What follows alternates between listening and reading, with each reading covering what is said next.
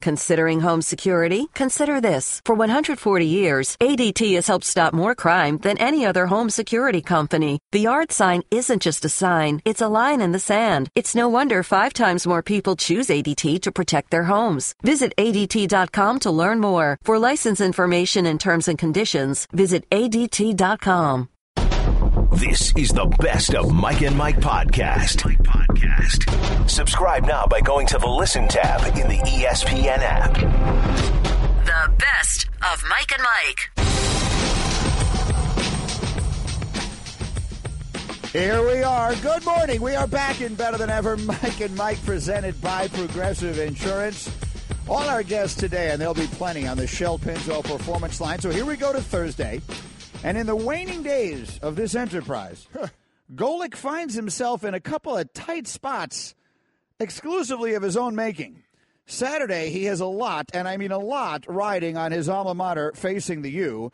And today, live on this program, the big fella is going to do the one chip challenge, which you have just taken on yourself. Yeah. Big fella, how you feeling? I, I feel fine. The for the chip challenge is fine. I'm going to do it. My son's going to do it. Trey Wingo is going to do it. The, so that the new show that'll start November 27th, Golic and Wingo. We're going to all do the chip challenge at 9:45 Eastern, I believe, coming up to the end of this show. Correct. We didn't really want to do it earlier in case there were any in case you were effects. unable to continue. Yeah, you'd be doing the rest of the show alone. I don't think there will be. My thought on that is not a big deal. It's a food challenge. I've done about a bunch of food challenges, so so be it. It'll be hot. I'm sure it'll be hot. I don't expect anything adverse to happen. Maybe I'm underselling because I've seen a lot of the video of people eating this chip, so maybe it'll affect me more than I think. I don't know, but I'm not really worried about the food thing. The the Notre Dame Miami bet got away from me. Yeah. that one got away from me, and all of a sudden there's massages going on, and and and I. I I don't like that direction. And and your you sent it in that well a, a, a tweet a tweet got it from a tweet. but then you you magnified it. But I can't even blame you. I'm a grown man. I could say I don't want to do it if I don't want to do it. And and we got Dan on, and we Dan said he got suckered. To Dan Le Batard, who went to the U, said he got suckered into it. But I think it was kind of a reverse psychology. I think he really suckered me into it. I don't like how that one went. So. I've been watching Notre Dame this year and really enjoying it. You know, there's no angst of your kids playing and that kind of thing. You know, when there's a little more on, I just sit back and enjoy. Now all of a sudden, I have angst. All of a sudden, Saturday night, 8 o'clock, I've got angst. Just like I had no angst in the Notre Dame Northwestern game because I thought we were going to roll you guys. All of a sudden, the second half, I got angst. Yeah. I got a lot of angst, and then I got naked and oiled up and a picture taken of me. Okay? Correct. So I'm going to have angst from now until the end of that game, till Notre Dame wins that thing. Quickly, for those of you who don't know what this is, it, it's it's come up just this week here. Yeah. We decided, why won't Golic and Le Batard make a friendly wager? You and Jim Kelly have bet like stakes. We bet stakes. I bet uh, Feagles. I got to wear the turnover. Jeff Feagles, who went to the U. We played together in Miami. His kid punts for Miami. He's got to get me hundred dollars worth of donuts, or I have to wear the turnover chain. this was the kind of thing That's the kind of bet we I, had in mind. I can I can wear a turnover chain. I can buy six ribeyes and send them to Jim Kelly. But I have to massage Stugotz. Yeah, some- or you? Not me. Yeah. The, the the the tweet came in. One of the tweets, we decided let's just solicit for fun, you know, suggestions from the audience. We had an hour to kill before Le Batard was coming on that day. This was two days ago. And we figured let's just solicit su- suggestions from our audience sure. of what could be the stakes of a bet. You know Golic, you know Le Batard, obviously. They're two of the best known uh, personalities of the network. You know the quirks of their own respective personalities. So it'd be kind of fun to do. And one person tweets in, the loser should have to massage Stugotz. Yeah. Because obviously Stugotz is, is Dan Le Batard's cross to bear. Right. And you've sort of, with- his closeness to Mikey, you've sort of, you, you're almost like a father figure. Yes, I am to Stugotz. Stugotz. Stugotz is trying to become a part of my family. He wants to get in the will. That's sort of the way it feels. Yeah. He feel he feels like he's Yep. becoming Yep. like a little Agreed. bit of a, of a of a Golic child, and and and and the, so I just read that and I laughed. And the next thing I know, it happened. I don't even know exactly how it happened. I don't either. We'd have to. We're going to go back and retrace exactly how that developed over the course of that hour because I don't even really remember. But somehow that's where we landed. We did. So, so the loser of that game, whether it's the U or Notre Dame, it's you or Le Batard, has to give Stugotz a massage. And then Le Batard tried to change it by saying, wait a minute, the, the partner on my show and Stugotz got involved in this. He's saying, now you should be involved in it. And, and There's just no chance of that. It has nothing to do with me. Stugotz is that but, guy. But Stugotz, is, is the Stugotz guy. is saying he's not part of it either. He Oh, didn't go on. to the U. He didn't go to Notre Dame. lives for this. I agree with that. And he's coming on today at eight o'clock. I and- agree with and, that. And, and Stugotz, the, the, Stugotz is the person who gets massaged Yeah. when someone Yeah, loses I a agree. wager. I agree. Right? I agree. That's Yeah. who he Yeah, is. he is. But He's so to circle it back to today.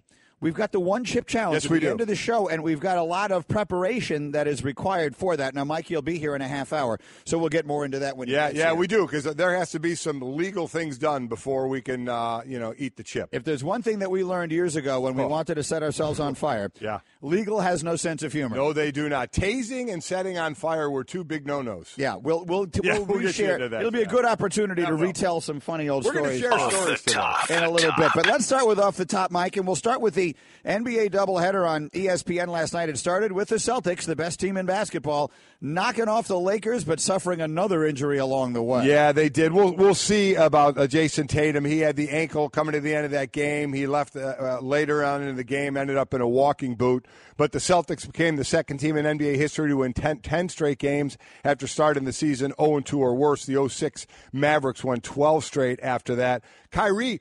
Kyrie's handle, they did just a compilation of his handle, of his dishes, of his moves.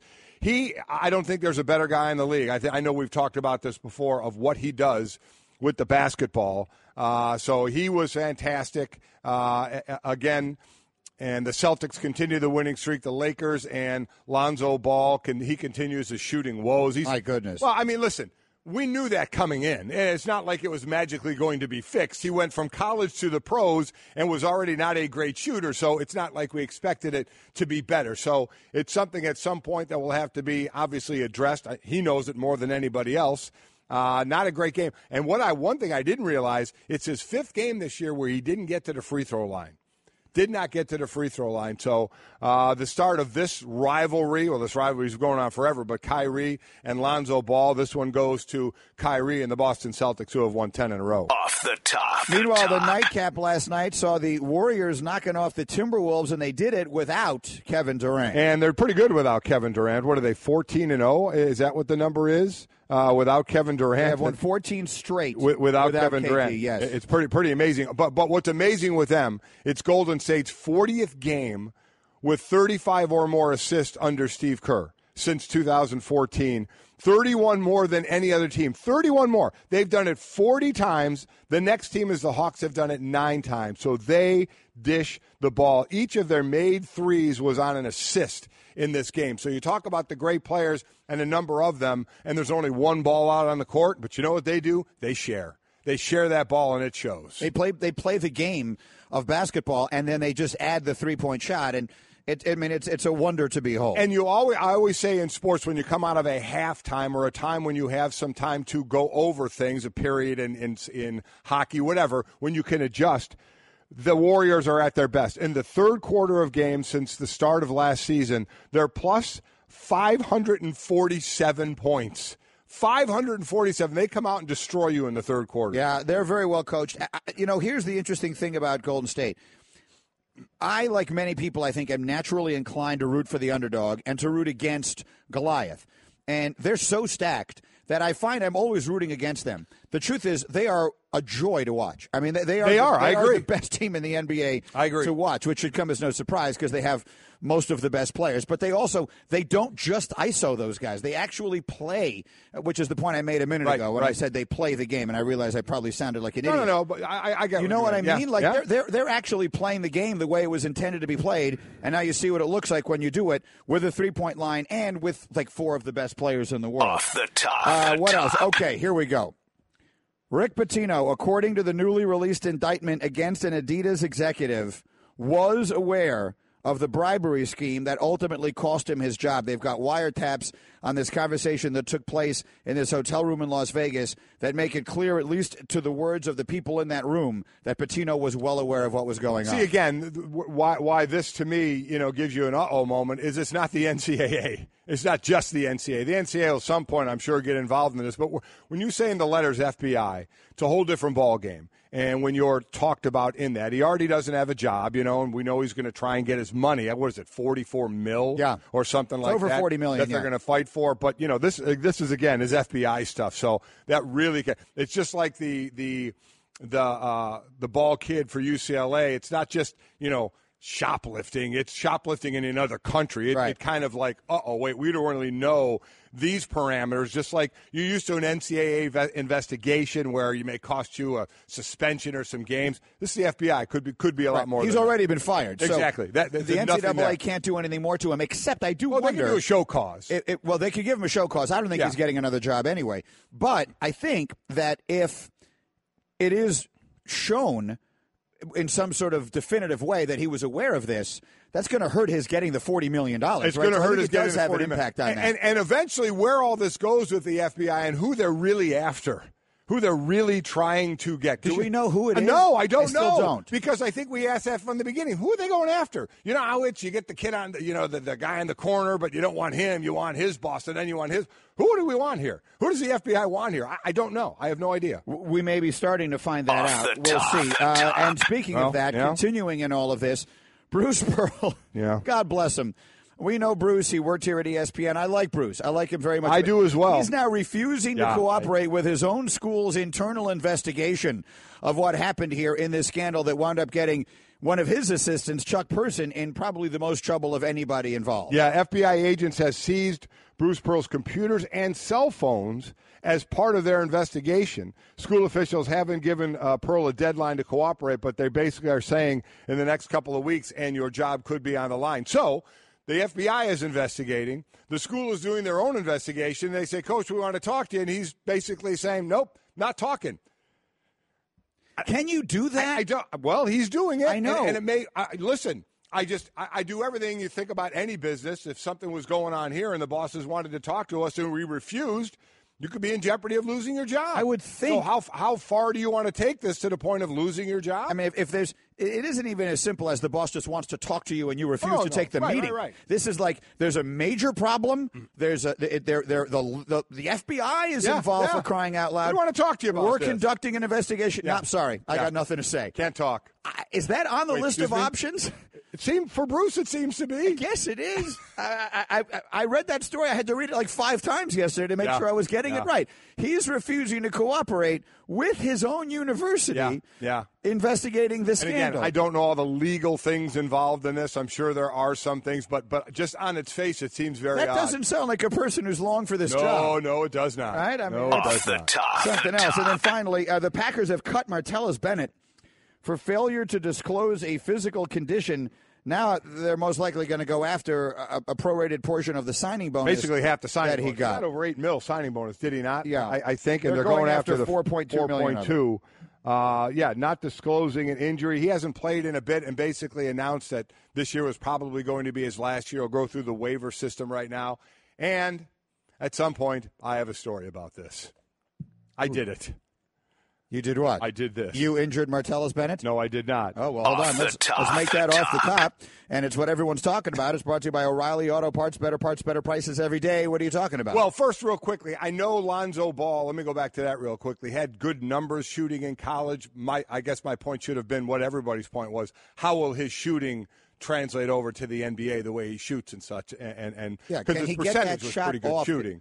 He was he was thought to be a good shooter Right, in college. right. His father was telling us that he was going to be Steph Curry, Right, right. in the NBA. But let's move percentages past were that. pretty good. I just wanted to, to I his percentages were pretty good, but it certainly is not translating right now. So the Martellus Bennett, hopefully there's a uh, statute of limitations on this one, but it doesn't uh, involve as much money. So Martellus Bennett again, failure to disclose. Basically, you don't disclose an injury when you're getting checked out to to sign with a team. Right. And I, they found out now as before. I, I To don't be know. clear, what you're saying is that if you go try out for a team or you're going to sign a contract for a team, you have to sign something that says Just- you I'm healthy enough to yeah, do this. Exactly right. And if I have any injuries, I got to tell you what they are. So I, my uh, when I was a free agent, I, I've told the story about Miami cutting me, the Yes. way they cut me, and you know it's a business, and, and it happens that way. But they did it in a in a nasty, but- way. Well, you know what? You, some could say after this story that I got on the team in a in a wrong in a bad way. Well, this is a first for me. I, I don't know this I don't story. recall that. I may, I thought I had, had told this story again. Maybe not. Maybe I'm getting myself into trouble, and maybe right now my wife is going to text me and tell me to shut up. But um, when I was a free agent, uh, that year we were all the first year of free agency, and there were 11 of us as free agents in Philadelphia. and None of us re-signed with Philadelphia. So I was working out in the off season in Orlando. Um, and one of the workouts is before I signed with anybody. I was I was a free agent. I was running hills, and I, I ran the hills, and, and it felt like somebody ball batted me in the in the calf, and I tore Achilles. I tore no, no, I tore my calf. Tore my Tore calf your muscle. calf. Yeah, I tore my calf muscle. It looks weird now because I never got it fixed.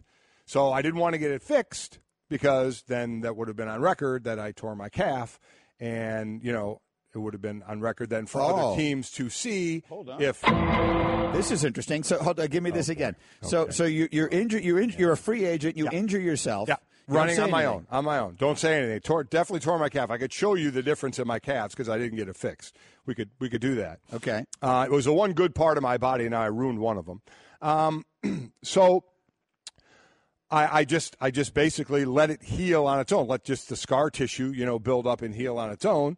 And I ended up signing with the Miami Dolphins. Okay. And I was wrote my name. I was healthy when I signed with the Miami Dolphins.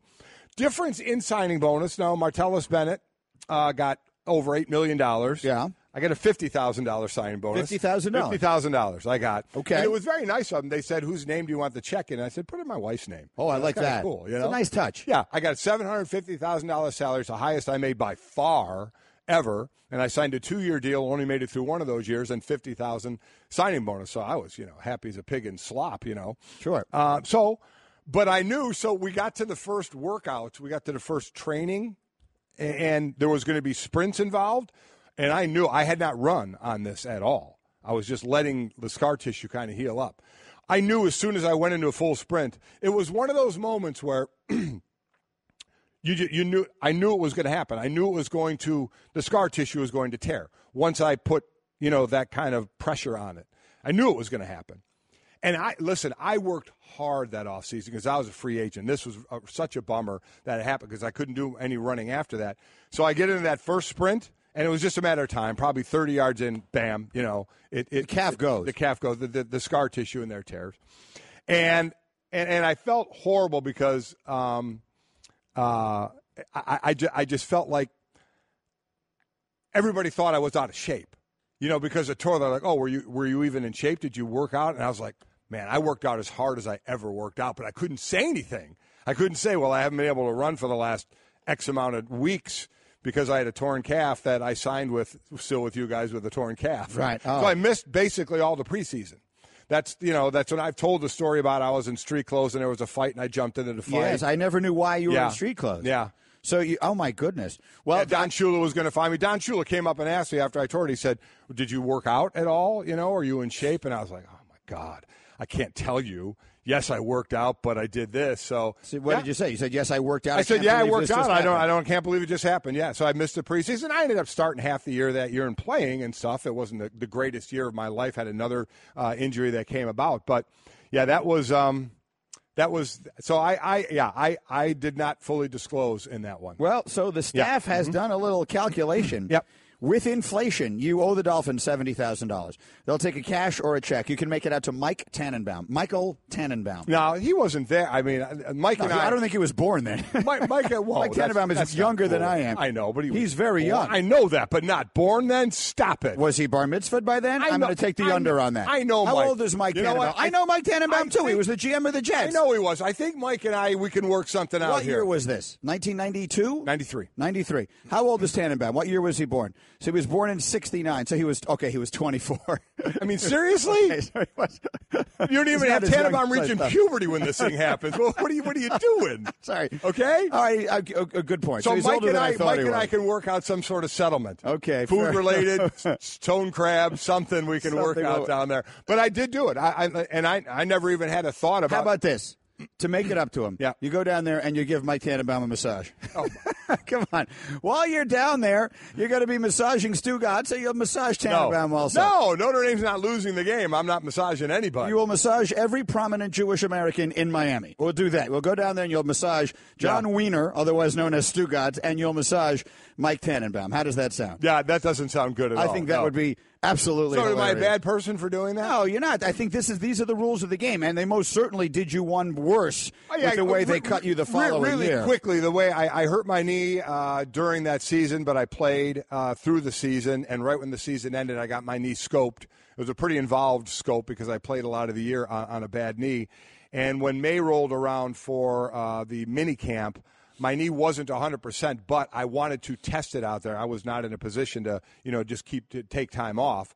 So I told him I want to test my knee out during camp. I was in the one of the doctor's offices at the facility, and they said, "Well, you have to sign the sheet that says you're healthy to go do that." And I signed the sheet, said, "Yeah, I just want to get out there and, and, and move and show that I can play." And I opened the door, and there was someone standing right there, would not let me get out of that room, saying the GM wants to see. you," And I went up and they cut me. And they were only able to cut you After- because you right. would sign the piece of paper saying you were healthy. That's exactly right. So, So- you know, it's a business. It's a business. That's the are you gonna do? business Yeah. you guys have chosen. Mike and Mike presented by Progressive Insurance, comparing rates to help you save. Now that's Progressive. Call and click today. Find out how much Progressive could save you. All right, we're just getting started. We didn't get to anything there, but it was all more than worth it. Uh, I'm Boy, because try- I might have gotten in trouble. No, you're not going to be in trouble. The statute of limitations has long since passed on that. I think at that? most you owe Tannenbaum a massage. The best of Mike and Mike. And we say a very cheerful good morning officially now to Mike Golic Jr., who is here to do any number of different things with us for the time being. But then at the end of today's program, is going to be participating in this one chip challenge. How do you feel about this? I'm feeling pretty good. Listen, I've seen enough videos at this point of different athletes and entertainers eating the chip to where, based on the reactions I've seen, I feel pretty good about the fact that I'm going to be able to battle through this. I heard you on your show, first and last before this, that you felt like you got roped into this one. Yeah, I, I didn't get roped into it. I was just flat out told this is what you're doing. I had no agency in this whatsoever. By you, by the way. Yeah. I mean, when you said, I'd like to do this, you then said, so we said on the, oh, will you really do it? And you said, yeah. And Mikey will do it too. Listen, all I hear from you, you're a grown man that you, you basically go against what I say all the time now. Why all of a sudden are you listening to me? I mean, it wasn't just you. So you made that decision that set the wheels in motion to where everyone in the show staff just started coming at me about this. I'm getting calls in the middle of the week from Ray Netchie, who works on this show, which is a, no, a number that I did not imagine or anticipate seeing pop up on my phone late on a Tuesday night. But here we are. So you got everyone else. It was this pack mentality. And I said, you guys have turned into bullies. You guys got two weeks left on the show, and all of a sudden you think you can just make everyone do everything. And it started with Dan Le Batard, and it's clearly carried over to me. Let the record show I had nothing to do with the one chip challenge. The the, the massaging of Stugotz, I think I probably yeah. did help You- you sort of magnified that. grease You were the chief masseuse. Yeah. In some way, I just own the parlor. I'm not I'm not doing any of the massaging, but I definitely will will uh, will, We, will we have a name for those kind of guys. Yes, we do. receipts. Let's not use that on the air. Mike, Mike presented by Progressive Insurance. Our guests on the Shell Pennzoil Performance Line. Okay, let's get to some sports here. Yeah. We got a million things to get to today. Let's start with whether or not one NFL coach has lost his team. And that NFL coach is Ben McAdoo, and the team, of course, is the New York Football Giants. Our Josina Anderson, who's extremely plugged in on a lot of things with a lot of players around the National Football League, had some very interesting reports from Giants camp yesterday, and I think I have them here. Let me play it for you. Here's Josina telling you what she has heard from several players on the Giants roster. There was a Giants player who wishes to remain anonymous, reached out to me and said this unsolicited at the time, this being last week, saying, quote, McAdoo has lost his team. He's got us going 80% on Saturday before we get on the plane to play a game. It's wild. Changed our off day. He's dishing out fines like crazy. Suspended two of our stars when we need them the most. Throws us under the bus all the time. He's run us into the ground and people wonder why we've been getting got. And then I also heard from another Giants player who said unsolicited, guys are giving up on the season and nothing's being done. Guys just don't care anymore. So that's Josina Anderson yesterday. Guys, your reaction. Well, I mean, I think you know where I'm going to go here. L- listen, I, I- I've been in locker rooms that, that have been in disarray, but I, I'm tired of the anonymous player sitting there telling me, oh, I confess it's his fault. You know, you go on the field, you line up to not make your block. You missed the tackle. You don't do what you're supposed to do on the field. You want to say it's the coaching staff. I get it's all a team thing and you're all part of it. I understand that. But my God, you don't sound like you're taking any responsibility at all. Oh, we're not, no, no guys are trying anymore. And it's the coach's fault because he doesn't get us motivated and works us too hard. And just shut up. I mean, to me, it's embarrassing. Landon Collins, the Giant safety, disputes what these players have said. He said McAdoo has been leading the same way he led last year when they had, oh, 11 wins, correct? Last I checked? 10 or 11, yeah. 10 or 11 wins? For sure. Way more yeah. than last year, right? Landon Collins said, So I don't knock the way he's been doing things. Finding people like crazy, if you don't follow the rules, you get in trouble because you got to pay the consequences. I wouldn't say lost a team. I have the utmost respect for him. Uh, Dominique Rodgers Cromartie, who was one of the players suspended, said basically the same thing. I don't think this locker room is lost. And so they go the other way. And, and like anything else, it's probably somewhere in the middle. But, Greeny, you know me and this anonymous garbage that goes on. I, I got to get on this, the, the one player here. I got I got to find the quote the I, just just the way I'm reading this, the other anonymous player also said, "I'm going to keep it 100. I'm going to tell it like it is, and it's terrible." Oh, are you going to keep it 100, Mr. Anonymous? Good job out of you, Mister. I'm not going to say my name, but I'm going to keep it real. You're that's embarrassing. You're making you're an embarrassment right now to that locker room and the anonymous comments you're making. Go out there and play. It's not going well this year. Don't blame a coach because your ass ain't getting it done on the field. That's, this aggravates me, Mike, more than anything else in the world when you get the anonymous person complaining the way they do and blaming somebody else for what's going wrong on the field.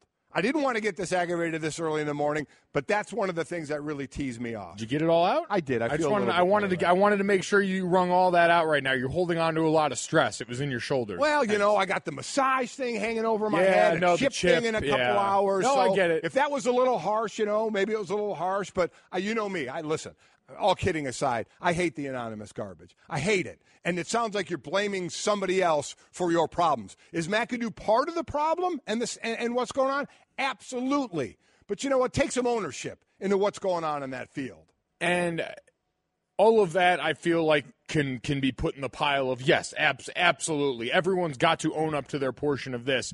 But if we're looking at the situation that's been pointed out here and removing the party that's bringing us the right, information right. and taking an honest assessment of how you're leading and what you're doing in all this, I think there's a way to do it. Like you've got a team that's spiraling a bit right now and you probably see players looking around saying, all right, how do we get that group back in? Because the sentiment of these comments right. seems to be that guys are disinterested, right. guys aren't holding up there, and not necessarily the guys that are even coming out with these anonymous comments, but something they're observing. Guys aren't being held accountable, and the leadership in place isn't holding them accountable, and that starts with the head coach on most teams. You can look at other places and you can say, well, look at the Miami Dolphins, comparatively not even in as dire straits record wise as a team, but you've got Adam Gase shipping guys off yes, to other do. places, yeah. sitting guys down rattling cages a little bit. We've heard him very publicly and very sternly chastising his team for the way that they've performed. And so maybe there's some of these guys looking around and saying, man, that's what this locker room could use a little bit of. Now, you could say that locker rooms should be led by the players, and most truly great locker rooms are. They have that coming from within.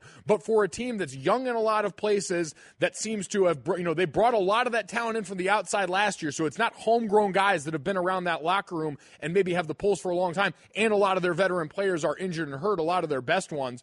I don't think you can discount what they're saying, but I agree the method of delivery is always something that kind of raises an eyebrow because it preclude it excuses you from all blame. Hundred percent agree with you. Hundred percent agree of uh, what they're saying. You can understand. I just hate the message. I hate the because as Josina was reading those quotes from the players, right? Tell me somewhere in the quote where where that player said it's on all of us. I didn't hear that. Didn't hear that part of it, right? So, yes, it could be a mess in that locker room. I completely agree. Do I think McAdoo's job is done there? Absolutely. I think it's going to be done there. And it is in disarray in that locker room. And I'm sure those anonymous players were telling the truth partially to what the problem is. But I can't stand the fact when it's all about somebody else. And they did. It, I would. Listen, I don't like it anyway when you're talking out of school like that, as far as I'm concerned, just say in the locker room. But at least I would have had a little more for the anonymous person if they'd at least said, you know what, I don't, we don't, I don't think he's a good leader right now, but it's on all of us because we have to step up and play as well. I didn't hear any of that. All I heard is, I swear, I confess he did it, not me. And that's what aggravates me. It aggravates me, the anonymous. It aggravates me talking out of school, out of the locker room. And it aggravates me when you don't wear the hat of some responsibility because you can have the worst game plan in the world, but you're still out there in one-on-one battles that you can try and win. For the anonymous piece of it, this doesn't necessarily make it any better, but I did hear. I was actually watching when Josina was on one of the shows. She was on a bunch of shows with this reporting yesterday. She said that one of the players involved, I think it was who, that quote he, he didn't want his name attached to it for fear it would affect his playing time.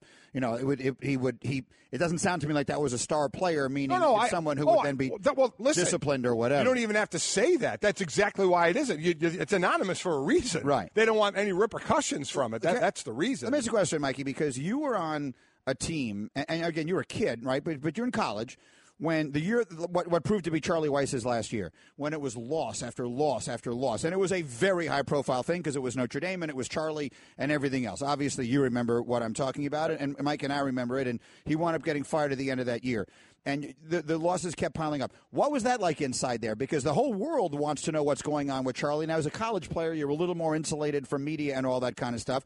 But was there some of this stuff? Was there this kind of splintering? Was there like you know the coaches lost the team kind of thing? No, there was frustration, and I mean you certainly saw that start to boil over. But that happens anytime you're losing, even in the best franchises when things are going well. I mean, I remember early on when I was in training camp with the Steelers, they had just come off a couple of disappointing seasons, and you could tell it was a noticeably ornery Mike Tomlin, who had been used yeah. to winning and been used to their standard, but was upset. And it was a more physical training camp, you know, hearing from the veterans because of that. And so, yeah, there were, there were, you know, I don't want to say blowups, but there was certainly tension in there, frustration at times. There's never a loss of the locker room that I can point back to. There are still plenty of guys, and still plenty of guys now that love Charlie and, and talk to him all the time. But the difference is you also see the writing coming on the wall, and there might be some of that in New York right now where you just know where this is going. You know, we're not dumb in all right. of this, and you can read. We knew after a certain point, and there was even a certain game I remember in that season where it might have been Stanford when we went out there, and it was either our last or second to last game. When you start to realize like this, this might be it with your relationship with this person and a player or coach setting and everyone feels the energy. It robs the energy of that group when you know going into the year, all right, this is kind of a make or break year. And once you start to feel it break, it, it becomes tough to just keep that morale going. And that seems to be what begets situations like this, where you've got differing opinions yeah. and differing factions throughout the locker room. Absolutely right. And then, then it really kind of falls on where are the leaders in the locker room? Because the one thing you want to do is you want to get guys together and say, okay, let's keep this in house. This doesn't need to be getting out anywhere. Let's. It's going bad right now. What happens is players start to play a little more for themselves, saying, okay, that coach is not going to be there. I'm playing to get good tape to make sure I have a job here or somewhere else. That's the. Those are the things that start to happen. But I, am sorry. I, I, just, I just can't deal with the anonymous, it's somebody else's fault situation. No when, when everything there may be going on just like it is. But but still, you're on the field. You have a say in what's going on. So take take part of your responsibility as well. You have no reason to be sorry. You were Carolina Reaper Pepper hot three hours before taking yeah, the challenge. Got a headache now. Hey everyone, Mike Golic here. Support for Mike and Mike podcast comes from our friends at Rocket Mortgage by Quicken Loans. Chances are you're confident when it comes to your work, your hobbies, your life. Rocket Mortgage gives you that same level of confidence when it comes to buying a home or refinancing your existing home loan. With Rocket Mortgage, you can apply simply and understand fully so you can mortgage confidently. To get started, go to rocketmortgage.com slash Mikes. Equal housing lender, licensed in all 50 states, NMLS consumeraccess.org number 3030. Hey girl, have you done something new with your scales? Using new moisturizer? Nice. It really brings out the hazel in your eyes. Oh, hold on. Are you using whitening strips too? Your fangs look good, girl. Really good. A really charming snake charmer? Surprising. What's not surprising? How much you could save by switching to Geico. Wait, what? Have you been doing Pilates too? Geico. 15 minutes could save you 15% or more. Very busy Thursday. Mike, Mike, and Mike as we speak. Mike Golic Jr. is here. We're presented by Progressive Insurance. Our guests on the Shell Pennzoil Performance Line, Stugotz, will join us shortly in advance of the massage that he oh. is he's got to be looking forward to. Now, Mikey, of the three of us, you know him the best, you work with him every Sunday here on ESPN Radio and all sorts of other stuff. You know that regardless of, of what complaint he may be lodging publicly, he loves this. He loves the fact that the loser of this wager is going to be massaging him. Oh, 100%. Stugotz is going to turn the lights off. He's going to light a candle. I He's gonna I see. I just I imagined it the other way with Stugotz doing the massaging and those little sausage fingers just creeping all over the place. You know, finding all the nooks and crannies and the knots to really get out there. That's the disturbing visual that I covet. He's gonna love this though. He's already talking. You know, really lovingly about your big, strong hands. I want you to manhandle them a little bit. So that's that's uh, what the, the Yeah. stakes are of the Notre Dame Miami wager between Golic and Dan Le Batard. We're going to preview Rubbing that it. game in a couple of minutes with both coaches uh, in uh, here just in a few minutes on Mike and Mike. couple of quick uh, tweets. Reaction to Golic's really strong thoughts on the anonymous Giants quotes earlier through the 1 800 flowers.com Twitter feed. Sports Q tweets, I so agree with Golic. I hate the anonymous source who isn't man enough to say uh, what this to, to say what they say with their name attached. Hashtag cowardly. And then Philly fan Dan tweets this anonymous player for the Giants said what we already know. You just have to look at their effort to see the players aren't playing for the coach. And, and I, go ahead. You don't play for the coach. You don't play. There's not one coach I played for where I went out on that field and said, "You know what?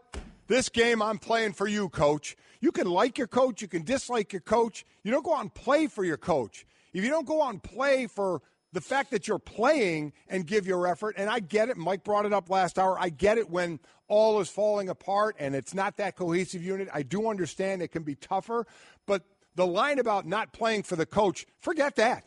Mike, you players don't play for the coach. Oh no! Usually, in, in a lot of cases, it can end up being the opposite. You can play right. in spite of, but uh, uh, I guess to the point about leadership in this is that then it falls on not only the coach but the leadership in that organization to identify and say, okay, if these are the players that are mailing in right now that need some sort of coach's rah rah speech to get them going, those are the guys we need gone. Like we need the guys that are going to be self motivated enough by a the paycheck that we're throwing their way because this is a business transaction, and b their own pride in their professional work that that wouldn't be the case. Here's my thought, and, and the tweeter's right. We all see what's going on. What is your motive for giving an anonymous quote?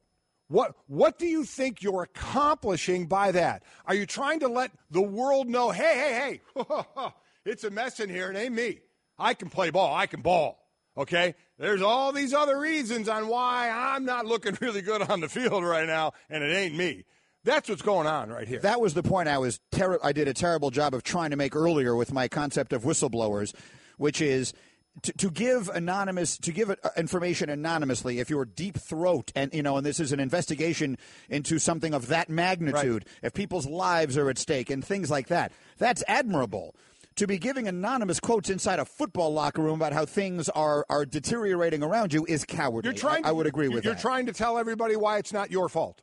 Is Well, what you're doing. That that part I don't I would maybe dispute just because your name's not on it, so no one knows where to not assign the blame in this outside of Josina Anderson, who is the one who had this specifically. So if you want Josina to know it's not your fault, congratulations, you accomplished that bit of good. This to me seems you want to signal to everyone else like there's problems and we need change. Like yours, this is kind of like a little coup, right? Well- like you see the way this is going, and you would like for everyone to know, including management. We always talk about when coaches get up in front of the mic, they're very aware of the message that They're they are sending to players who are listening. This player is probably very aware, I'd assume, of the message he's sending to everyone else, which is that there is disarray here. People above making decisions take note of just how much chaos is going on within your building if you haven't already. See, in, in my case, I'm not giving an anonymous quote that much credit. I'm just not. I, I'm. I'm. To me, I get what you're saying, but I'm also saying that these anonymous quote players are on the field and see that they're getting beat, see that they're not playing well, see that they're losing, and to me, part of their anonymous quote is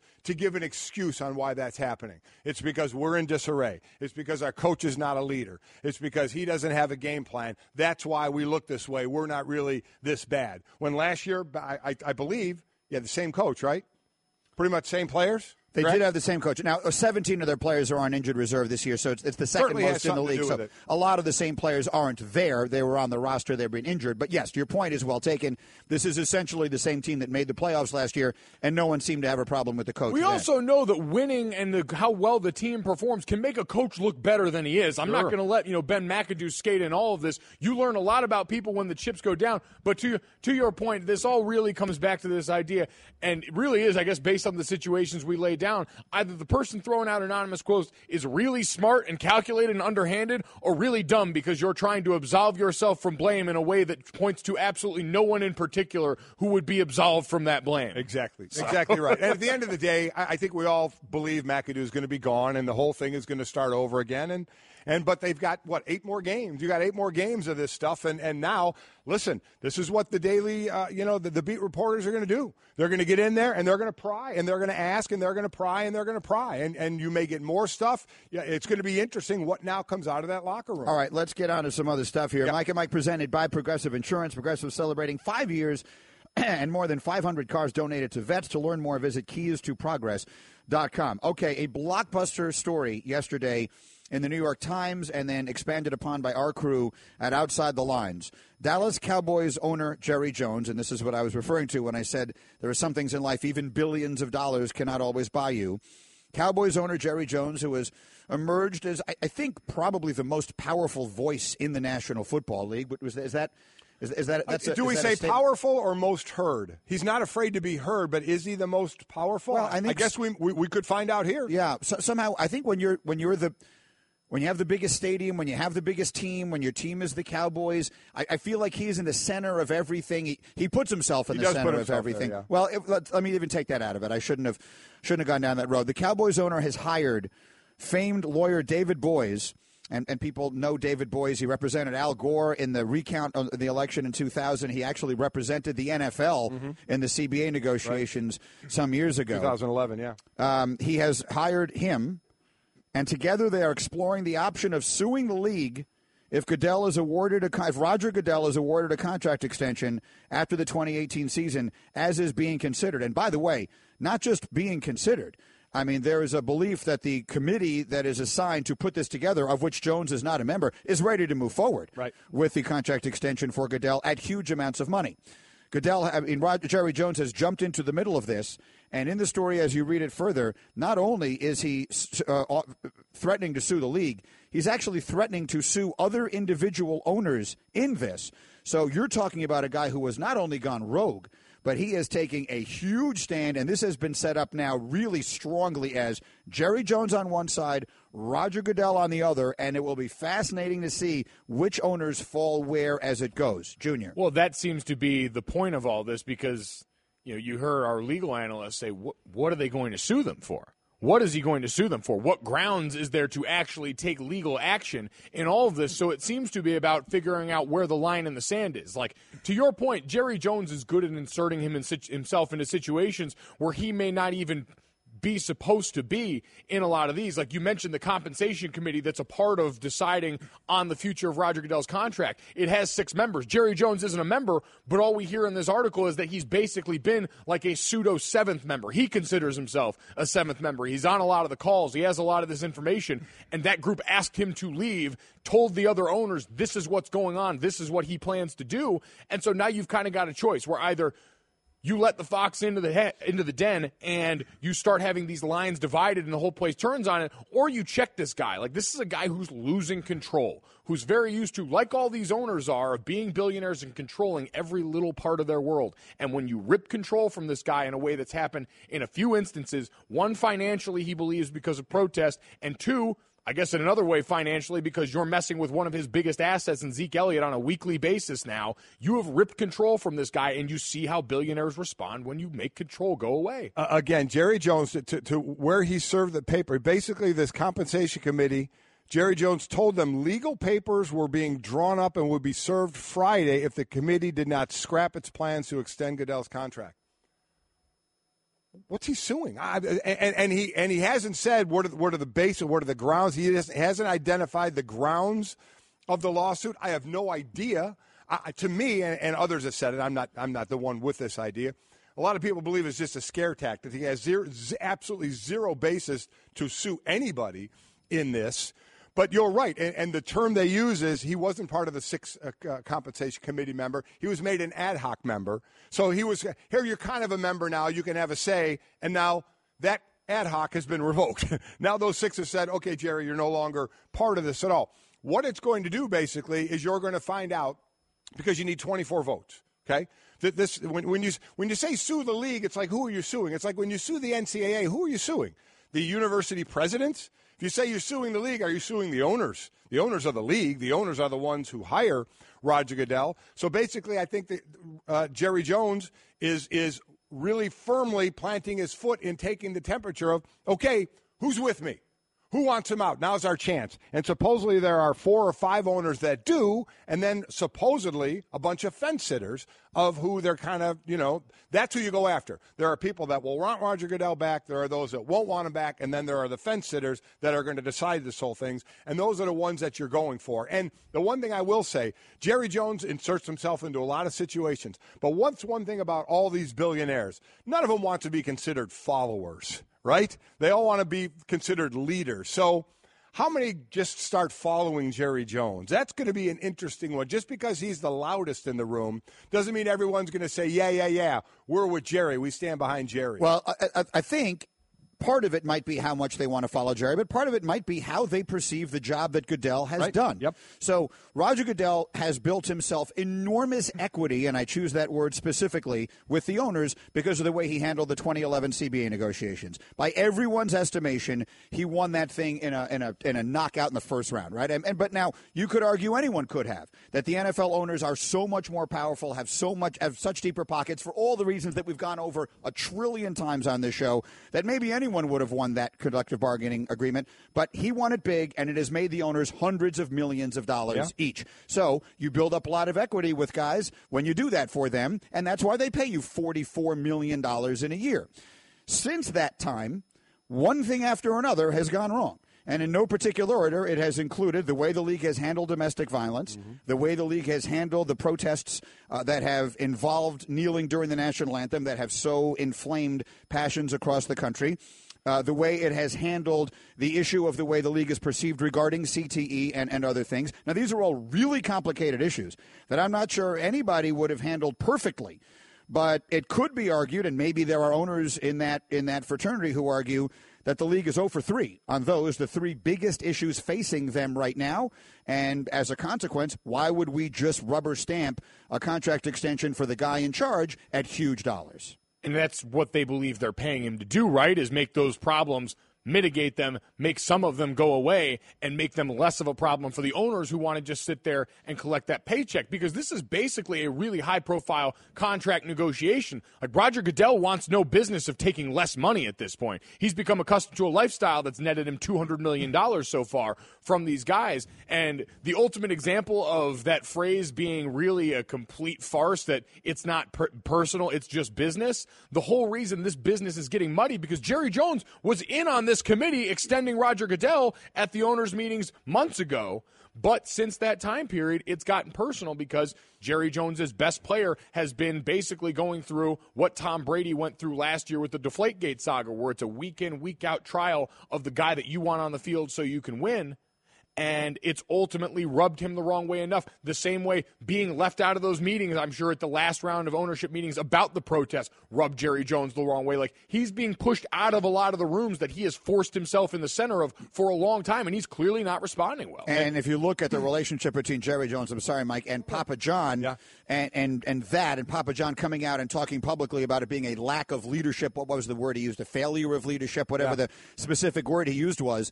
There are many people who perceive that to have been Jerry Jones' words right, right. in the mouth of one of the league's most significant partners and sponsors. So you, you can see where this battle has the battle lines yeah, have been drawn. I really don't know where it's going to go. Yeah, boy, certainly he's thrown the other pizza places at Papa John. I don't think it's really gone the way Papa John expected this thing to go, quite honestly.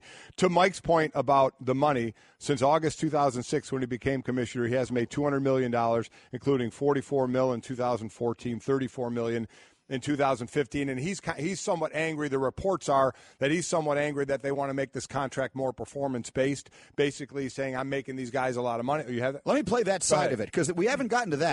Yeah. There's all this owner's side of it. Yeah. Then there's Goodell's side of it.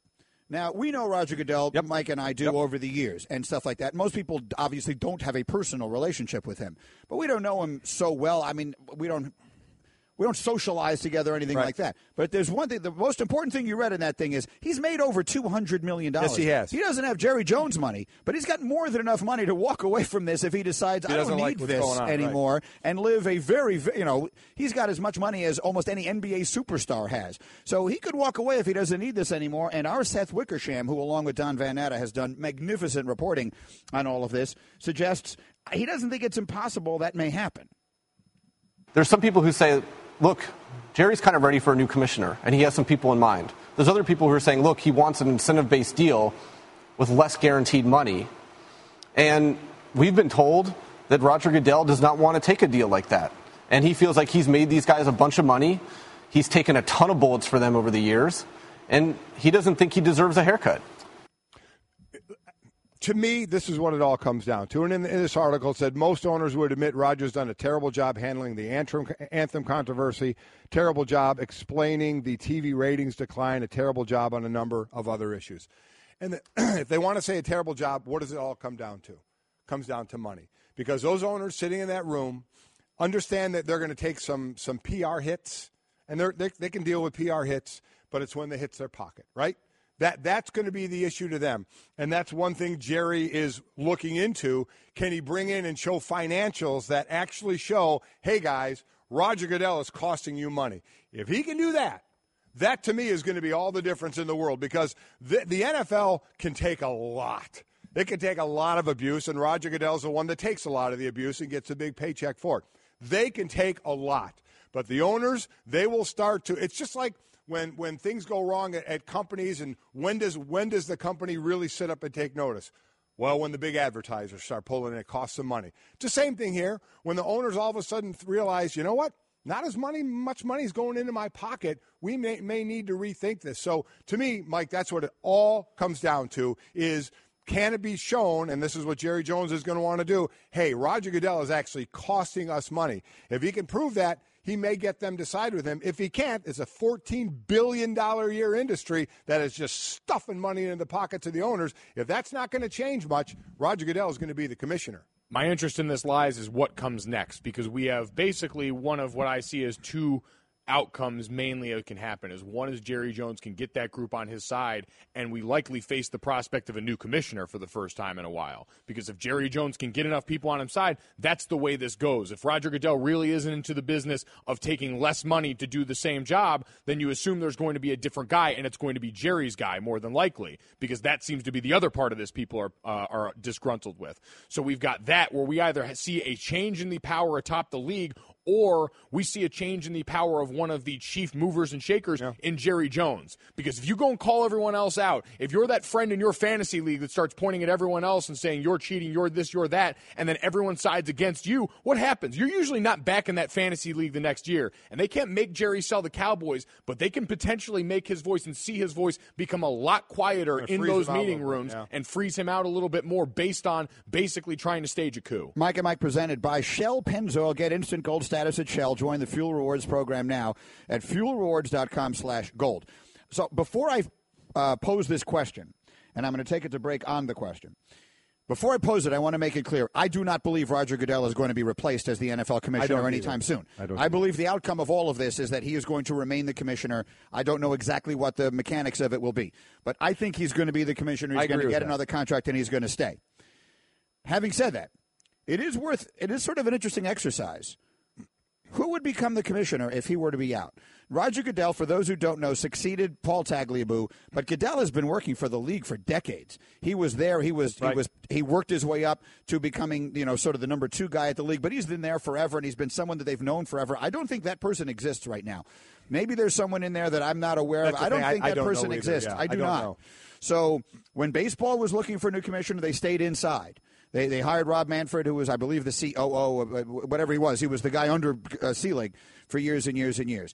Um, Adam Silver, same thing. David Stern, he was the number two guy. He was being groomed. He was being prepped. He was ready to go. This is a different circumstance. This isn't Roger Goodell at 70 deciding he's going to retire and someone new. I think they would have to go outside. And it is kind of an interesting question.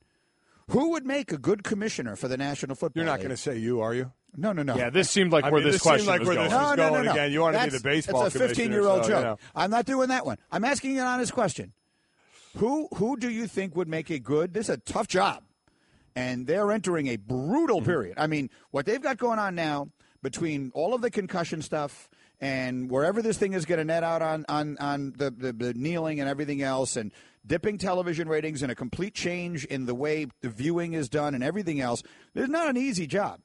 I'd be really curious to hear who you think, and on Twitter, at us, at Mike and Mike, who do you think would make a good commissioner of the National Football League if it isn't going to be Roger going forward? The best of Mike and Mike. Here we are. We're back and better than ever. Mike and Mike presented by Progressive Insurance. Our guests on the Shell Pennzoil Performance Line. Mike Golic Jr. in here with us a little later this morning. He and Golic and Trey Wingo and maybe Damien Woody. Yeah. Will be taking part in the Carolina Reaper Pepper Challenge. I don't know for sure. Your wife was tweeting with D Wood, getting him in on this, and so he may be doing it. I'm Oh, not she's 100 percent instigating sure as well? She seems to be. ge- She. Wow. she- You know, mom likes throwing see- herself in the middle of bets that work out well for other people. Well, I was going to say that don't affect her at all. Last I checked, I was the one naked and oiled up with you taking pictures of me. She didn't get involved in that, and now all of a sudden, Damien's eating a chip and she's at home laughing. That, that's. I think he's going to do it. I'm not 100 percent sure. We'll find out when he gets here. You guys have to sign a waiver, Yeah. which we'll get to as well. Uh, quickly on some of the Twitter here, Jeff tweets at us: "How about Stugotz as the next commissioner of the NFL? What could possibly go wrong?" If you're going to give a bobblehead today, that might be the one. You're not kidding. That's Stu will one. join us shortly, and all the Twitter comes through the 1 800flowers.com Twitter feed. If your football obsession has strained a relationship, you need 1 800flowers.com. For a limited time, 1 800 Flowers is offering up to 40% off best selling bouquets and gifts perfect for birthdays and anniversaries. Go to 1 800flowers.com slash E ESPN. All right, before Stugotz, I just want to preview three of these huge college games quickly. Let's finish up on Oklahoma TCU. Golic Jr., you strongly like Oklahoma. I can give you the number on that game, by the way. Vegas has Oklahoma minus six and a half. Our football power index makes Oklahoma a five point favorite. So you would give six and a half points? Yeah. Mikey? Oh, yeah. I- Yeah. I think I would as well. I think I would as well. Listen, they came in as, as ranked one of the best offensive lines in the country, so it's certainly They can't stop going to be anybody. on. Going to be on the right. They're giving up 27 points a game, as I mentioned. TCU just under 13 points, or just under 14 points. Baker Mayfield is having himself a year again. You know, going to be in the top four again, if not winning the Heisman this time around.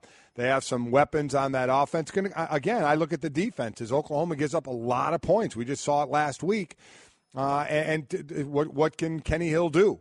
You know, for the offense for TCU, can he keep scoring a lot on an Oklahoma defense? So which side do you? Oh, I'm going to Oklahoma. I'm giving, giving the points. point. Yes, yes. And so you are as well. Okay. Because game- everybody keeps saying, you know, oh, why ain't anybody giving any love to TCU? Well, TCU, it's your chance. This is your chance to shut everybody up and say, we are going to the party by winning this game, and, and then you carry on from there. Georgia Auburn this week. Georgia is a two and a half point fo- favorite in Vegas. Our FPI makes Auburn the slimmest of favorites. Auburn at home, the slimmest of favorites. And Herbie said on the air this week he thinks there's a good chance. With us, he said a good chance that Auburn beats Georgia. Mikey, do you think there is? I don't just because I think Georgia saw the best rushing attack they're going to see this season. Like Auburn, rush structure wise, to me, just because the way that offense operates ends up being a lot like Notre Dame's, just a lesser version. Like the offensive line's not quite as good. Kamryn Pettway and the running back stable they've got there, Kerryon Johnson and company, are good backs. They're solid backs. And having Jarrett Stidham in that rotation as well as a quarterback who can move helps. But I just think they already saw the best of that. They did very well. I think you know gave up something like 55 yards rushing to Notre Right. Dame Yep. when they played them in South Bend. I think they're ready for this moment, and I think Jake Fromm is ready for this moment. Yeah, you mentioned Johnson, Kerryon Johnson. Yes, 15 rushing touchdowns uh, this year. So I, I agree. They're a good running team. I don't think they're as good a running team as Notre Dame. And Georgia did a real nice job of shutting down that running game uh, in Fromm's first start. I like Georgia in this. I like the two headed monster running. I think Fromm's got some good experience throughout the season, even though he's just a freshman. They're not asking him, and that what Herbie brought up, and I've brought up as well, and I agree. If Fromm is asked to win the game with his arm, then we'll see what kind of a test that's going to be, but I don't know if he's going to be. I, I want to throw one game into the mix that is not one of the glamour games this weekend, though it does involve one of the college football playoff teams. when the season began, we would have said that Clemson Florida State this weekend was Yes. going to be the biggest game. Yep. And obviously it isn't. Florida State's season has spiraled completely out of control. But beware the team that's playing at Super Bowl. For Florida State, and there's a bunch of kids on that team that are going to wind up in the NFL, and this is their Super Bowl. They can't accomplish anything they intended to this season, but they can knock off Clemson, their arch rival. So I, I'm always wary of a team like that. Do you give Florida State with with literally everything in the world to play for this week? Because other than that, I mean, they're three and five. Do you give Florida State any chance? Uh, I don't just because Clemson still has a ton to play for. I mean, this is a team that already with one loss on his resume, kind of like the other year where they end up going on to the national title, understands that now it's playoff every week. It's a team that already got their eyes watered a little bit and is going to come in ready to go because of that and because of that understanding that personnel wise, you're going to turn on the tape during the week, kind of the point I brought up. Those guys, when they watch the tape, they're not going to see a Florida State team that's lost more games than we expected. They're going to see a Florida State team, especially on defense, full of stud NFL prospects that they know they're going to have their hands full with all day. I almost would be worried more if Clemson were undefeated, knowing they could maybe give up one loss. They're they're at their end, right? They can't lose two. Correct. Not going to lose two and be in. So I don't think it's going to happen. It's in Clemson as well. I think it's one of those where I, I agree with you about Florida State. They're going to come out and try and make it their Super Bowl. But if it starts to get away from them, I think you'll see the wind come out of the sails. And then let's circle it back to Notre Dame in Miami again. That's where game day will be this weekend. If you're in that area, they'll be live in Coral Gables. And then, of course, ABC Saturday night primetime has the game.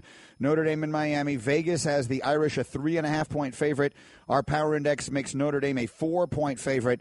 Uh, we all know what they like to do. They want to run the football against you. We saw Miami with a very impressive win last week against Virginia Tech. Junior, give me a breakdown on the game. this one, I mean, I'm always selfishly going to whittle it down to the finest point, which is uh, inside the trenches, and that's where the best battle is going to be.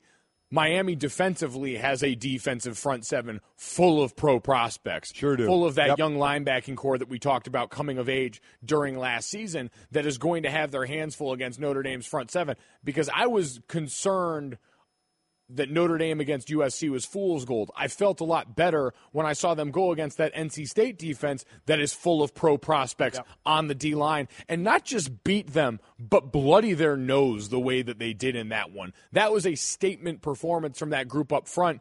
Now, in Notre Dame, you've got to hope that Josh Adams is 100% healthy coming off that Wake Forest game where we didn't see him for the lion's share of the second half because he was a little nicked up, because they was ahead and didn't have to play and saw this on the horizon. Brandon Wimbush, though, Wake Forest is a big game for him. A lot more passing options and attacks in a game that was a little slick, a little wet, and where he showed well for himself because Miami on the other side is going to try and test them. They're going to run stretch zones. Rosier in that passing game are potent. They've got good receivers, Yeah. but they give the ball away a lot. I- like yeah. four turnovers a game forced by their defense is masking a lot of problems lately on that offense, which is them giving the ball to the other team. And no one is as good at points off turnovers in the NCAA right now as Notre Dame. Yeah, and they that you saw that in that Michigan State game. You know, when when they turned three turnovers into 21 points. I agree. I, I'm with you. The the the thing that worries me is that Georgia defense they got the best of Notre Dame's offense because of speed, and Miami has some speed on their defense in that front seven. Um, but to Mike's point, I agree. North Carolina State, I think, was sixth in the country against the rush, and Notre Dame ran all over them.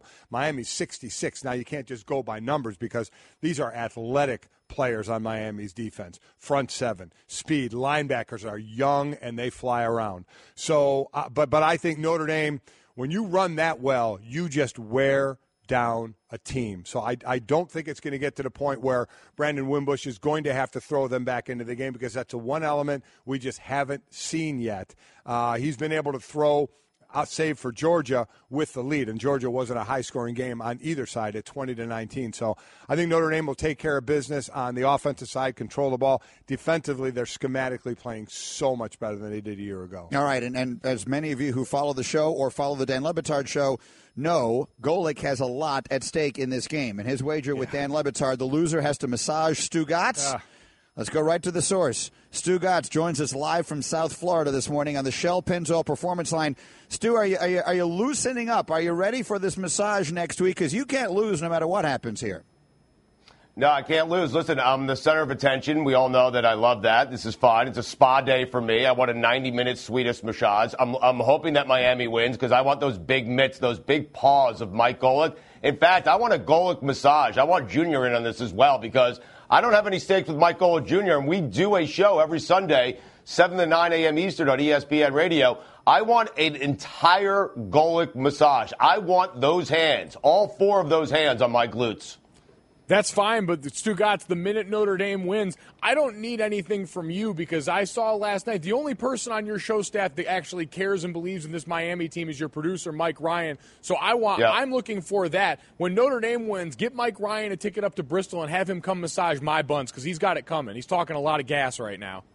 All right, I will get that bet going if you want. I mean, listen, Mike is delusional. He's a fan. He's a fanatic. He loves the University of Miami. He's been waiting for this game. We all have been for a decade. But Mike has all seven of the guys on, on Miami's defensive line and their three linebackers. He thinks they're all going to the pros, playing in the NFL, and that might be true. But uh, I will get that done for you if you want. If you want to have some sort of bet, because Mike uh, Ryan strong arms me into bets all the time, and I will absolutely do the same. I will repay him right now. So if you want to make that bet with Mike Ryan, uh, we can get that done right now. I will get. I will speak on his behalf and get that done right now. My big concern is Golic, how did we allow this? I'm talking to the senior here. How did we allow this to happen? Where Greeny is sitting in the middle of all of this. He has put this entire thing together based off a tweet from one of your listeners, and Greeny has nothing at stake. He has zero at stake here. That's what bothers me about this entire thing. Mike, there are stakes attached to this for you. Golic Jr., there are stakes attached to this for you. There are certainly stakes attached for me. And now Dan Le Batard. Where's Greeny in all this? What is Greeny doing while all this is going on? This is this is just goes to demonstrate the enormous power that I wield. So I make an offhand comment. right. This the first time this ever happened, years and years and years ago. The Major League Baseball All Star Game. Just follow me with this. The Major League Baseball All Star Game played in Milwaukee ended in a tie. The world acted as though this was some travesty. I came on the next morning right here on Mike and Mike, and I said, guys, what do you care? You wouldn't have cared if the American League won. You wouldn't have cared if the National League won. If you really want to make a big deal out of this, give home field advantage into the World Series that leads the, to the team, the league that wins the All Star game. The next thing I knew, right. they did it. I was making an offhand joking remark, and the next thing I knew, it actually happened. So, this week, fast forward 15 years later, I get a tweet, hey, the loser should have to massage Stugotz. I just read it aloud. I laughed. It's horrible where it's gone. The next thing I know, it happened, it's, and I still don't even know how it happened. horrible where it's gone. And by the way, Stugotz, you don't yes. have a stake in this. You're getting massaged either way. What do you care? Yeah, You're you a winner win. in all you this. either way. I mean, I'm going to be mostly naked on TV. There is that. You guys are kind of leaving that part of it out. Like I'm going to be uh, like mostly naked on national TV. Like okay. that. There is something attached it. to me. Yeah. Here's the thing. Yeah. Okay, so when people have asked me this, I made this this point to go like, and, and I think that you are the kind of person who will acknowledge this. You live for this. This is exactly your lot in life. Your lot in life, and you, you, and you love it, is to be the one who gets massaged by the loser of the bet. Right? That's that's perfect for you. This is heads I win, tails you lose for Stugotz, Because either way, you get to be the massagee as opposed to the massager. I, I would I will throw back at you that you don't want me to be part of the stakes. You like being part of this.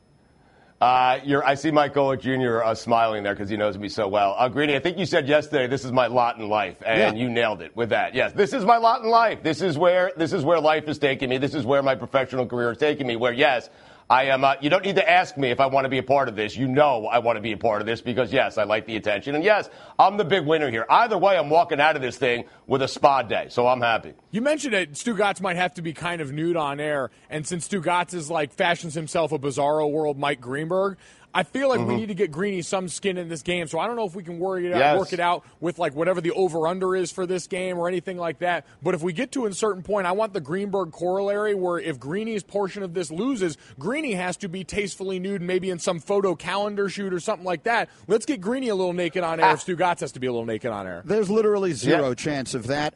Uh, I just right. threw this thing out here as a joke, and it took hold. I I, I, I planted right. something, and it grew. I have no this stake. Is... I'm going to sit back and watch this game well, as relaxed as can be.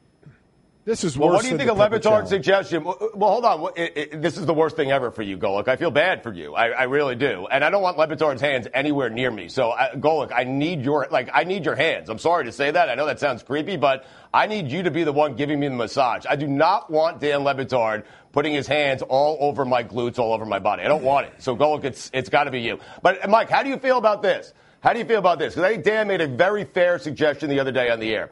If you know if Miami wins, okay, if Miami wins, which means Golic has lost. Golic, you have to massage Mike Greenberg. Greeny, it's a spa day. You should be happy with that. I'm not And getting massaged. if- I'm not what do you mean you're not massage. getting? It's all the Who same doesn't in a like dark a room, man. massage? I- I'm telling you right now, under no circumstances in our final week after 18 years am I letting Golic massage me. Under an- What a way to go literally out, no huh? chance of that.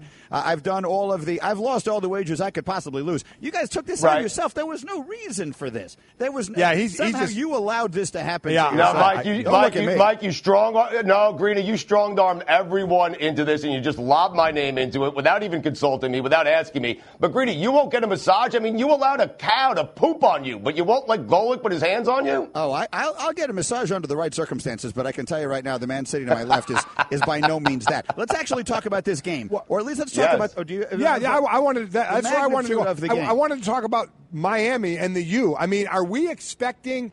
A, does everybody think they're back? And B, are we expecting because we've seen it in their heyday, all the alumni that come back uh, and stand on the sidelines? Do you think they're back to where you're going to see this Saturday night? Uh, I, listen, there are still questions as far as I'm concerned as to whether they are back. Because being back for the University of Miami is not just making it to the ACC championship game; it is making it to the national championship game and winning the national championship game, and then doing it again the next year, and then doing it again the next year. That's that's Miami being back. That's what it was like in the mid 80s, late 80s, into the early 90s. That's what it was like in the early 2000s. So I think even with the win last weekend at home against Virginia Tech, I think there are still questions. And then on the other side of that, Mike, I think Miami really respects the fans do, the team does, I know we do, just how good Notre Dame is. That offensive line might be the best offensive offensive line in the country. I think this game will get down to the offensive line versus the defensive line uh, for the University of Miami. Will that Notre Dame offensive line wear them down? Will Notre Dame be able to run the ball? Will Notre Dame have to come from behind, something they really haven't done on the road with a young quarterback? Well, an inexperienced quarterback, I should say. So, but as far as the University of Miami being back, it feels good, right? We have a big game, an undefeated Miami team against the one-loss Notre Dame game at home. Uh, it feels, you know, it's something that brings you back to kind of your childhood for all of us, for me, for you, Mike Golic, for you, Greeny. Uh, this was a big rivalry uh, when we were growing up. Uh, it feels like they're back. They're still there's still some questions here. So, but you're going to have all the alumni there. Michael Irvin was on the show yesterday. He delivered a great uh, pregame speech for us. It was awesome. We had Bryant McKinnie and Ed Reed coming in today. Ed Reed's going to be on the sidelines there for this Miami game. So. Uh, it's going to be a lot of fun. College football needs this. It's great. I'm glad it's back. It's Miami and it's Notre Dame, and it's going to be a fun week. But Mike, when when Miami's back, it means Miami is making it to national championship games and winning national championships you know, multiple years. Just getting to an ACC championship game is not enough for me, at least, to say the Canes are back. I do want to ask you a question, Mike, because I think this is interesting. What if Miami loses this game to Notre Dame? What if they lose this game to Notre Dame, and it's a close game? It's a three point game, it's a four point game. They lose the game, though. Then go on to the ACC championship game, and they beat Clemson. Does a one loss Miami team get into the Final Four?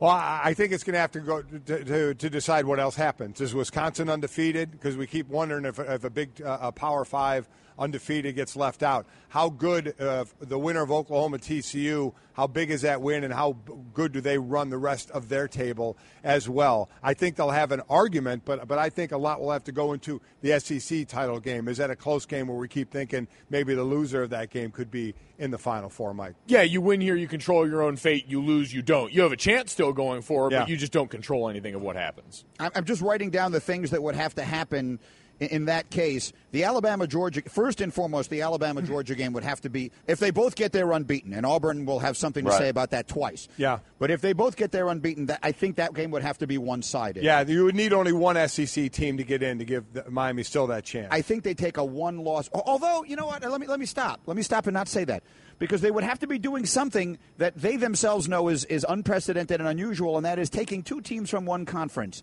into this. Now, I, I know there's only three years of historical precedent that we're dealing in here, but they'd have to be taking two teams from one conference, which they might be a little bit hesitant to do. They might. But Notre Dame gets in for sure under the scenario that Stugotz just painted, unless they wind up losing to Stanford or is it Navy? Is Navy. Navy and Stanford. Yeah. So let's just say, for the sake of argument, they wind up winning out. And then you've got the Big Ten and you got the Big 12. I, I think, Mikey, you said it right. I, th- I think the loser, uh, of the winner of the Miami Clemson game at that point still need, well, especially if it's Miami, would definitely need help under those circumstances. Does Clemson not need help? Does Cle- if Clemson wins out, are they a lock? Mike Golic Jr. Yeah, no, they're a I lock. think they're Yeah. in. They're a think lock. They They're stay in no matter what happens. I happens. think so. They'll be they'll be in. That loss will be early enough. Stugotz, you mentioned uh, the Miami players that you've had on this week. You said Michael Irvin yesterday, Ed Reed, and Brian McKinnie. Of all the Miami alumni that you think you guys have talked to that are going to be back for this game, which one do you think would have the best shot if we put them on the field this weekend of actually still being able to do it?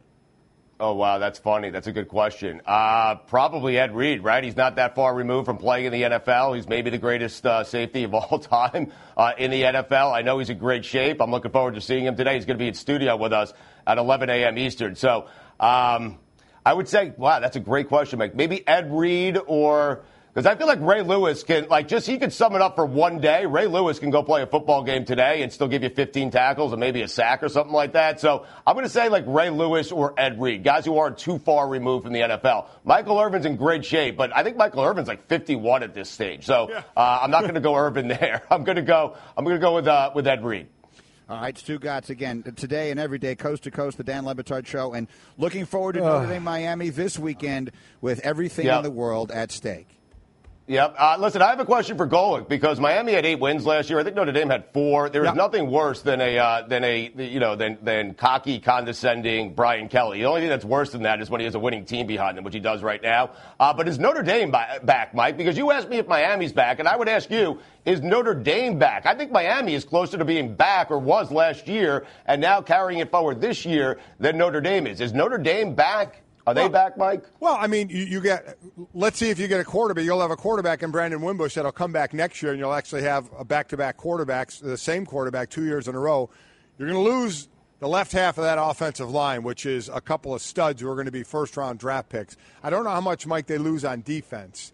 Uh, as well, but that offensive line will take a little bit of a hit. It will, but like back back again, like the same standard for back is at both places. You got to win a national title at one of those spots to really bring this thing back Yeah. to the pe- level people are going to accept. But I don't think Notre Dame really left as much as people want to make out last year. They were in the Fiesta Bowl two years ago before that four and Right. eight season. As far as I'm concerned, that four and eight year is sort of the blip. It had been steadily trending trending up from the time BK got there through the national title appearance year, through the Fiesta Bowl year like that, and then back to where they are now. Like at some point, you got to look at that four and eight and say that's kind of an anomaly compared to where they've been. This is the best of Mike and Mike podcast. Mike podcast. Subscribe now by going to the listen tab in the ESPN app. The best of Mike and Mike. Adam Schefter is here, our NFL insider extraordinaire. Schefter, he was one of many who have taped a very nice uh, message to us the other day. And, and one of the things we played it the other day, and one of the things I liked about it was that you reminded the world, and I, I always. I like to take credit for things, but I like other people to do it.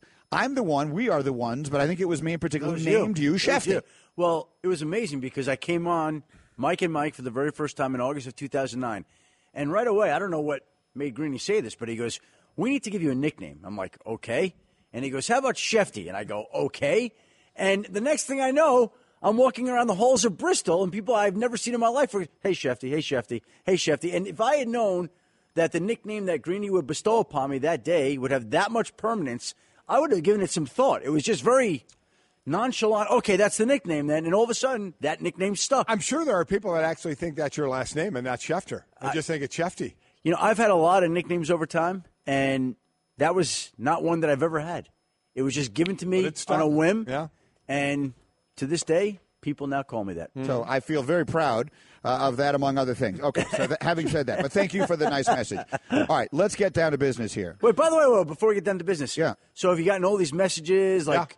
What is there one that really warmed your hearts or stayed with you? One that really impacted you? Well, there've been there. Are, I'm told there are a lot more to come, but the one I, I mean, I was excited that Tiger Woods. Tiger Woods did one with did. Wow. Yeah, that was Yeah. nice. Yeah. I mean, I like golf, and so that was a, and he's Tiger. That's pretty nice. That's pretty cool. Yeah, and then Shefty was number two. I mean, Yeah, it was okay, Tiger, well, and then it was. that's- I Shefty. understand that. Yeah, and whoever is sitting there that did it, they'll always be number two. It'd be Tiger and then Herm. Well, we'll check back next Yeah. week Yeah. after you see even more messages. and We'll Exactly. see who else shows up on that list. All right. In the meantime, Yes. we got Jerry Jones, we got Roger Goodell, we got Jones versus a bunch of other owners. Yeah. What? I'm giving you the floor. What the heck is going on here? Well, first of all, it's been going on all year long.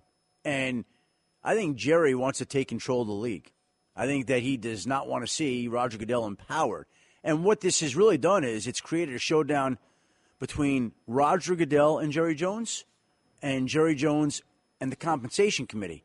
And Jerry Jones is almost being a maverick on this, leading the charge to try to get Goodell out of there or reduce his salary or have some type of effect.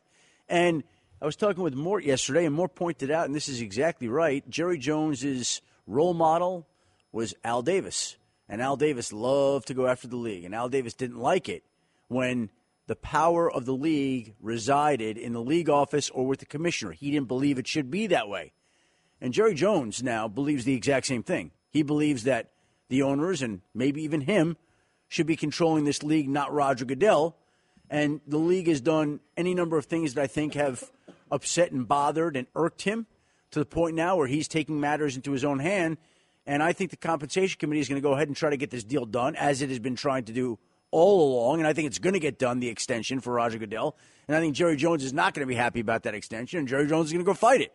Under I- what grounds? I don't know, but he's going to. I completely agree with you. I have no idea what this lawsuit thing is about, and I, I don't think it's going to go anywhere or has any merit at all. But here's the thing Jerry Jones is like that guy who is making a statement and then saying, Who's with me? Let's go. Because you need 24 owners to vote on this thing if you don't want Roger Goodell in there anymore.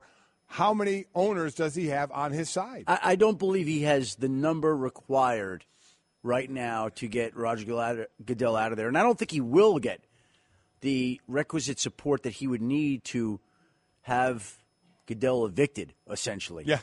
Um, but there are some people who do support him.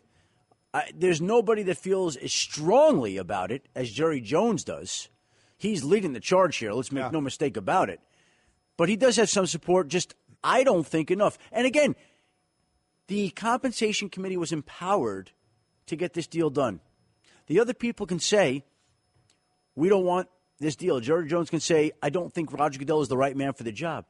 And it doesn't matter if Arthur Blank, leading that committee, says, Roger Goodell, here's your five year extension. That's it. Game over. So they have the power. Doesn't They have doesn't that need power. to be that this vote we're talking about. Correct. That committee has the power. They can Here's extend. Goodell. They've been Okay. given that power. Okay. And so that's why, to me, it's it, it's a lot about power here, right? They have that power. Jerry Jones, as the influential guy that he is, has his power. Right. Roger Goodell has his power. And let's see who's the most powerful people in the room here. So let's take the next step. Yeah.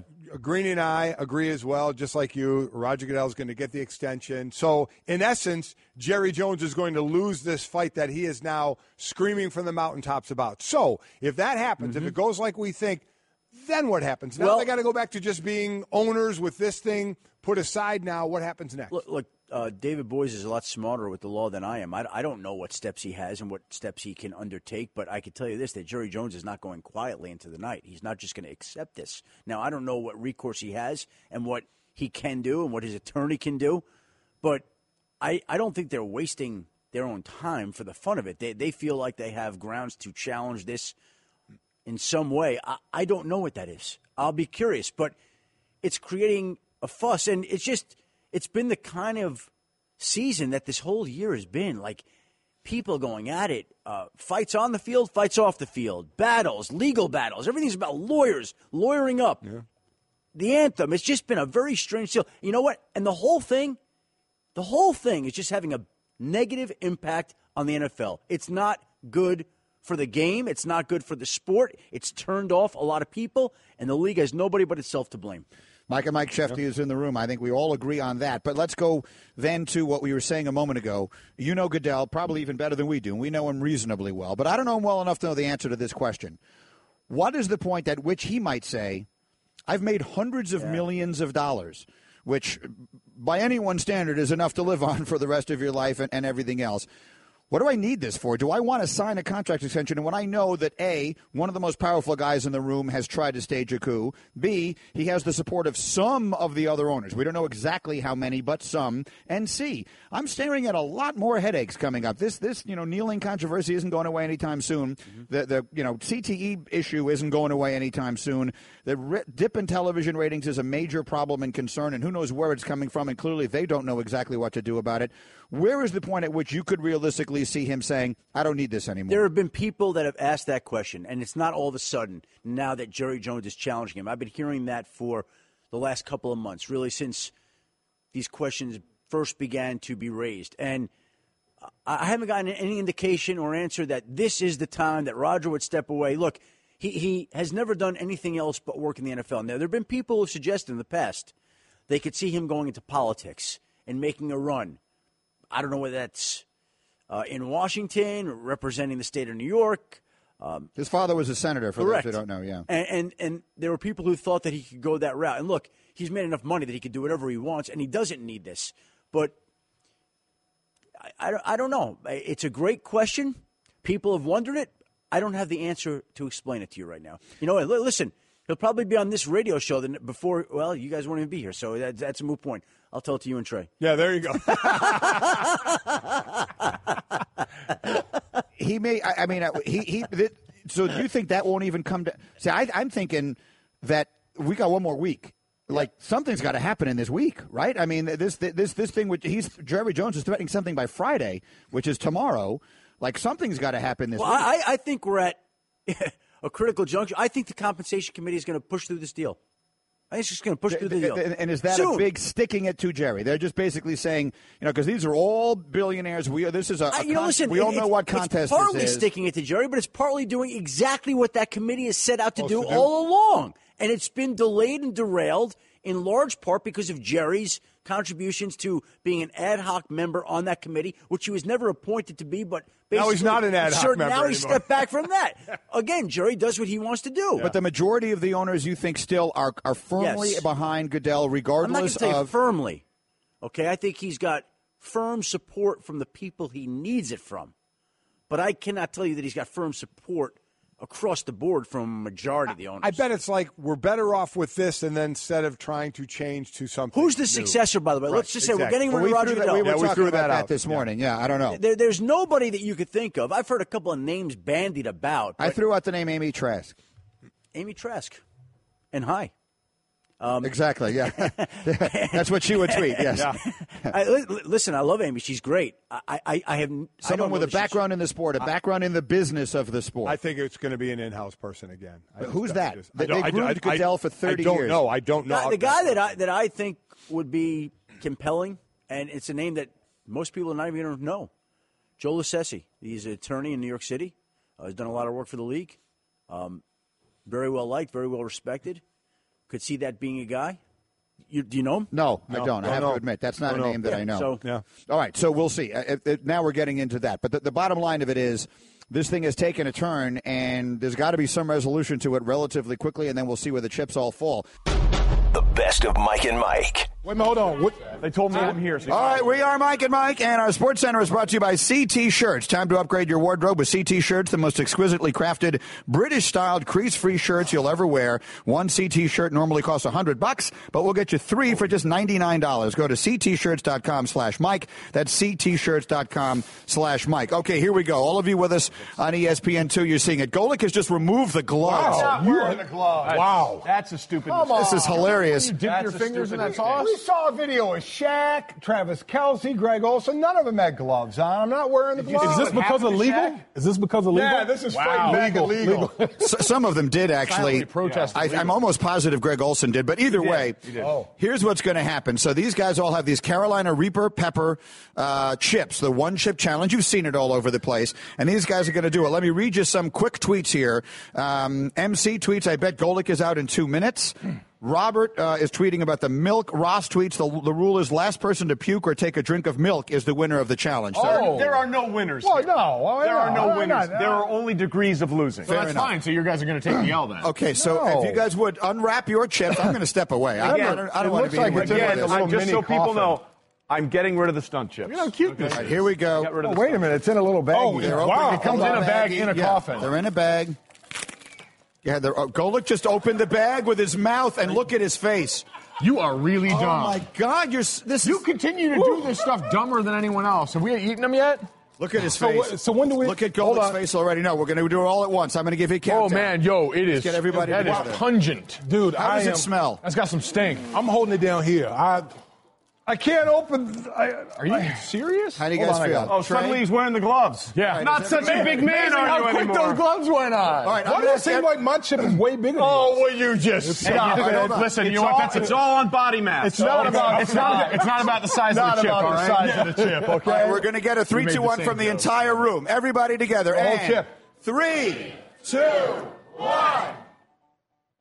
There they go. All right, Golic's got his in. D Wood's got his in. Mikey's got his. Trey's still holding out. Go ahead, Trey. Come on. There he goes. Okay, he's in.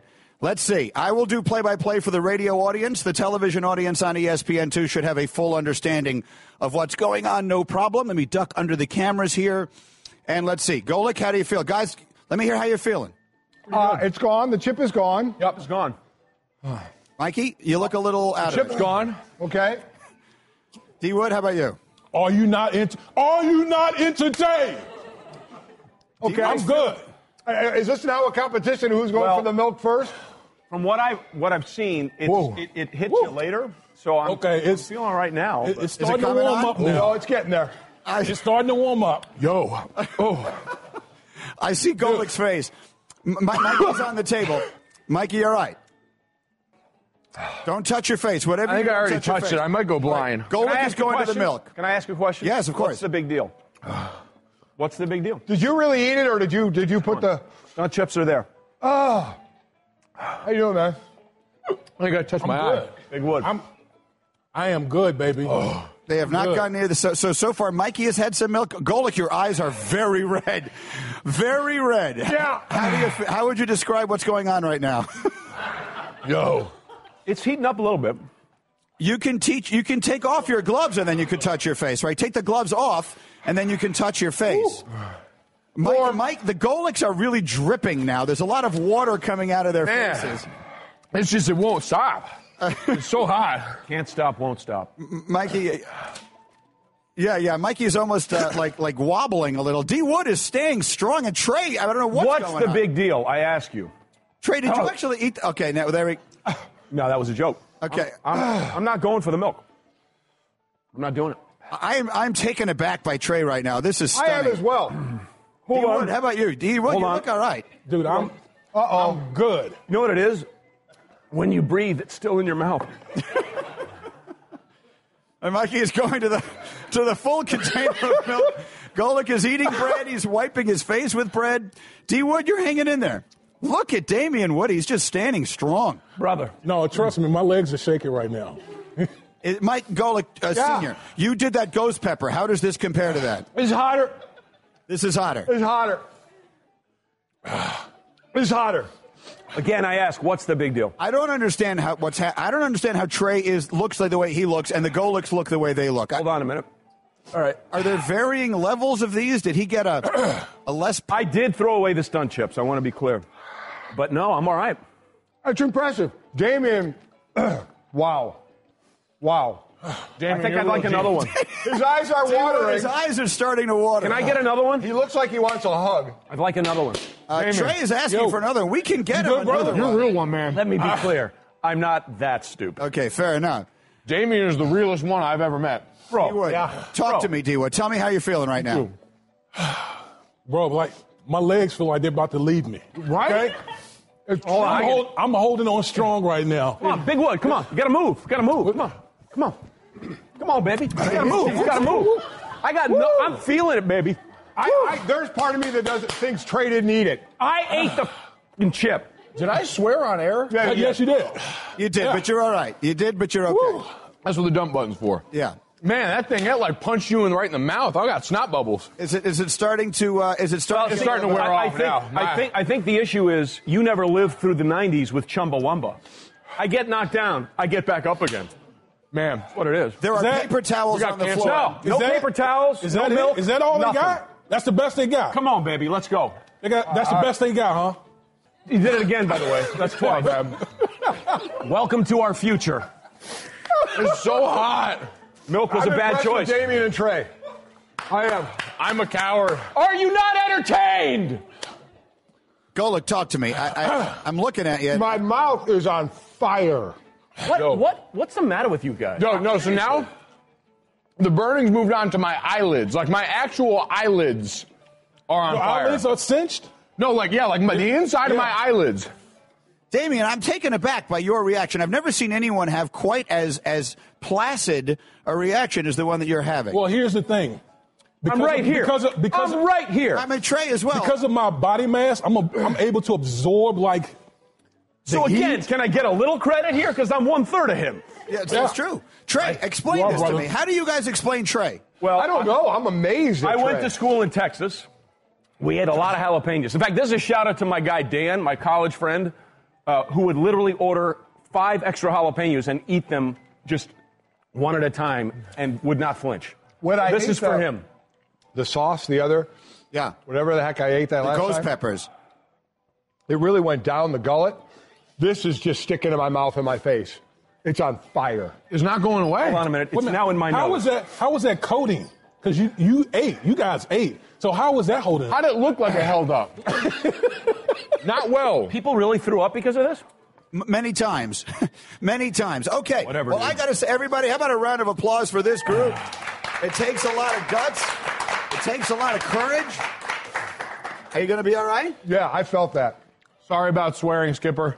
What's next? What else you got?